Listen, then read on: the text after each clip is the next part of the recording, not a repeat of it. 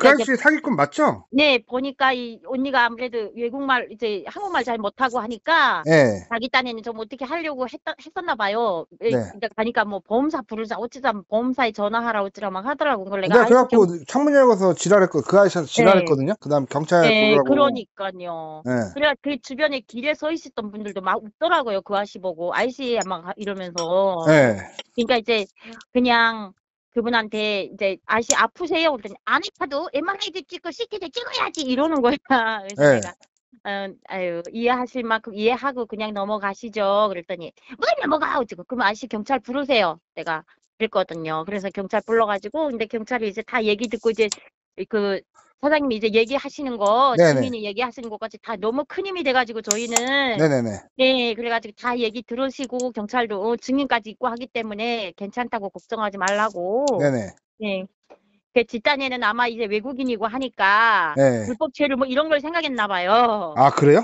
예, 그러니까 이제 좀 소, 이렇게 뽑아 먹자 했던 건데 이제 다 한국 국적 가지고 계신 분이거든요. 아니 제가 반대편에 이렇게 차를 보고 있는데 네, 네. 이- 거기서 속도 낼 수 있는 그게 없잖아요. 어, 그러니까요. 근데 그 아저씨가 자꾸 안 가길래 이 아저씨 왜 안 가고 어, 그래서 어, 이제 어.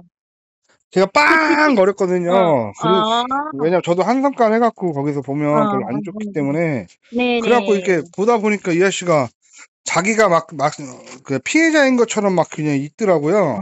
어, 근데 이게 봐도 그게 저도 차 어. 운전 거의 거의 그러니까요. 거의 20년 동안 예, 20년 동안 거의 운전을 했었기 때문에 음.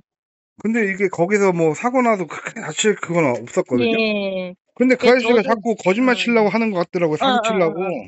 네, 그러니까 이 언니가 지금 말도 오느라고 하니까 살짝 좀 그랬었나 봐요. 지가 좀 그러려고 했던 걸 제가 그냥 경찰 부르라고 그랬거든요. 그러니까 제가 저도 이제 일이 음. 없었으면 네. 그러니까 일이 이제 어, 없었으면 거기 내려가고 네. 더 했을 건데 일이 있어갖고 지금 네. 창문으로 몇 마디 하고 아이고, 그 아저씨한테 너무 막 뭐- 감사합니다. 저희도 따라봐야 본받아야 될 부분이에요. 저희도 운전하면서 저- 증인 설건 좀 증인 서주고 막 이래야 될 것 같아요. 어. 아니 이거는 저희도 본받아야 돼요. 이게 어이가 없어갖고 그랬어요 저는. 네, 예. 그래서 진짜 저희 지인들이 지금 다 모여가지고 언니네 지금 다 놀라가지고 울고 아 그러면 울지 유튜브에 말라고. 유튜브에 용군 TV 좀 검색해서 구독 좀 해주세요. 아 그러니까요. 유튜브 유튜브에 뭐라고요? 용군 TV 치면 나와요. 어 진짜요?